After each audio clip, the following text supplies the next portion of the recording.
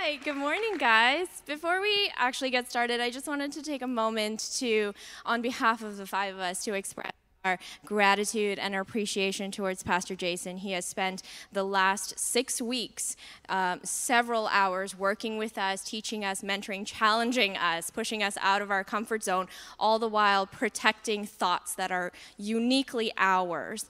And he is a very busy man. And so to carve out time to invest in us, and that, that was, it's just a blessing. And so we are, from the bottom of our hearts, we thank you for this opportunity. And we are so grateful that we have a, a, lead pastor like you whose heart is to build up members of this community. Yeah.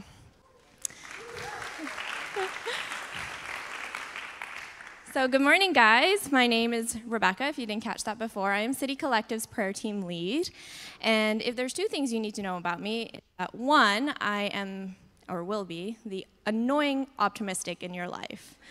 The second thing is, is that if I had one message to speak on for the rest of my life, it would be on hope, which is why this passage of scripture really, really made my spirit sing. I love that I have been deemed righteous by my faith in Jesus and that I can boast in the hope of the glory of God. I can even get on board with Paul when he says that we can um, rejoice in our suffering because in suffering we build perseverance, character, and hope. Is it difficult?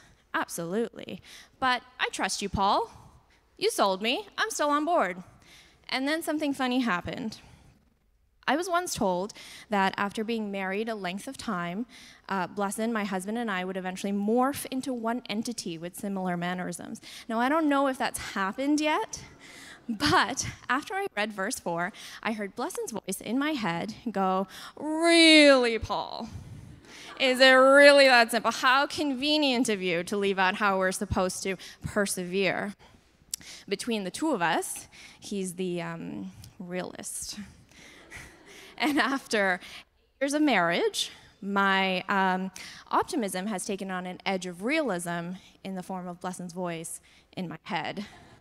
And so, Blesson's voice in my head made me really stop and ponder this part of the passage. How do we persevere in suffering? What does that look like? Because Paul talks about it like as if curling up into a ball and letting life pass isn't an option.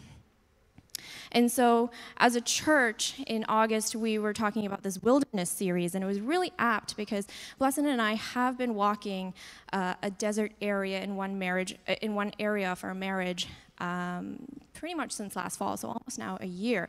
And the thing is, I am very familiar with desert spaces. I grew up in the Middle East. And so, if there's two things you need to know about surviving the desert, among many, is that one, sandstorms hit hard and unexpectedly.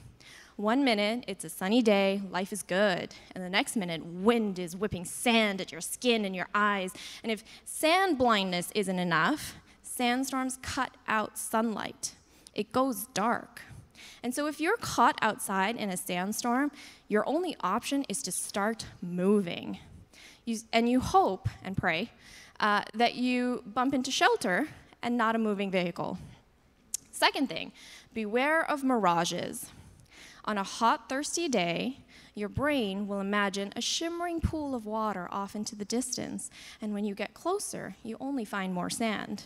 Your brain tricked you into seeing what you wanted to see. And then you doubt when you actually see an oasis. So when I was pondering this question about how do we persevere, I felt God invite me to look back on this last year of our je- desert journey. And the first thing I saw was the sandstorms that hit hard and unexpectedly. There were literal moments in the year where we were left going, What just happened? But before I could start to wallow in self pity, I felt God nudge my spirit a little more. And so I looked a little closer and I saw shimmering pools dotting my desert journey. Now you might be asking, were they mirages? Was the optimist in me so desperate that I was looking for good amongst the chaos? And I can confidently tell you that they were not mirages. They were intimate moments spent in the presence of Jesus. Around those pools of living waters, God worked on my character just as Paul promised. In the oases, I was convicted of sin and freed. My spirit was refreshed and my faith was strengthened. In the oases, my spirit grew lush and green and started to take root. But I could not stay at the oases forever, and I was eventually ma- led out back into the desert where I had to learn the difference between saying I had faith and living a life of faith. I had to learn how to persevere.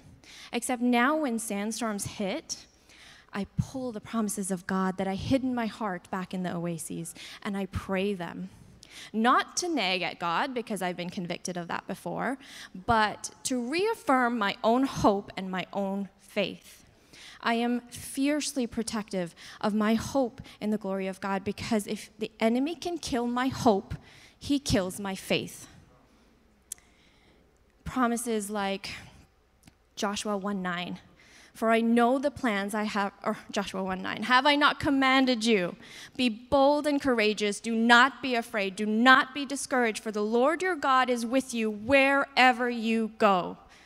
Isaiah 40 31, for those who hope in the Lord will renew their strength. They will soar on wings like the eagles. They will run and not grow weary. They will walk and not grow faint. Jeremiah 29 11, for I know the plans that I have for you, declares the Lord.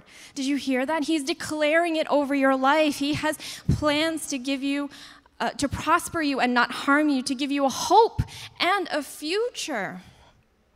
We live in a sin sick world. Human suffering is inevitable, desert journeys are inevitable. But we know one way that perseverance can look like.